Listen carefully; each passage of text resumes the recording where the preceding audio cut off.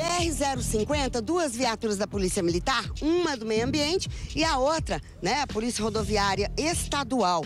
Eles estão aqui, aqui funcionava há muito tempo uma borracharia. Eles receberam uma denúncia que aqui teria combustível que estaria sendo comercializado de forma errada. Nós recebemos primeiramente aí a denúncia de que no local funcionava uma falsa borracharia e que no local estava sendo vendido aí é, combustível. O que, que ficou configurado aqui na parte da Polícia Rodoviária Estadual?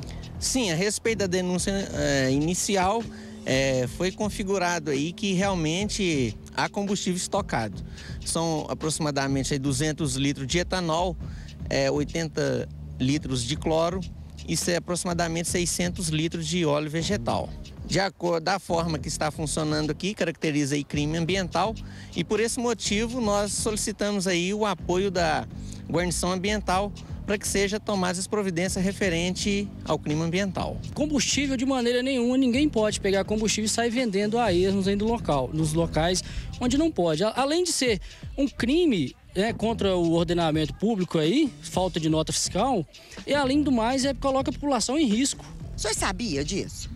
Que não podia? Eu, esse, esse produto aí que eu pego, que é o óleo degomado, é, é para fazer sabão, então Pra mim, por, por não ser inflamável, para mim era normal.